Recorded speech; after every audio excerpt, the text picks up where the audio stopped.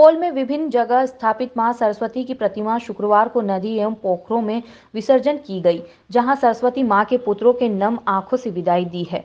वहीं महिलाओं ने भी माता सरस्वती की खोईचा बांधकर माँ को विदा किया और पुनः आने की मंगल कामना की है। जबकि विसर्जन यात्रा में माँ की यात्रा जैसे जैसे आगे बढ़ रही थी, वैसे वैसे बच्चे, युवा और बुज़ुर्ग माँ के जयकारे लगा रहे थे।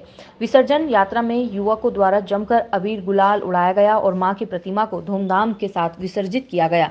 इसी दौरान कोशी कॉन्वेंट मधीपुर में सुबह से विधि पूर्वक पूजा अर्चना एवं हवन भी किया गया। वहीं भागवतपुर में युवाओं ने भी धूमधाम से एवं नम आँखों से प्रतिमा विसर्जन किया। विसर्जन जुलूस में युवाओं के साथ युवतियों ने भी बढ़ चढ़ कर हिस्सा ली।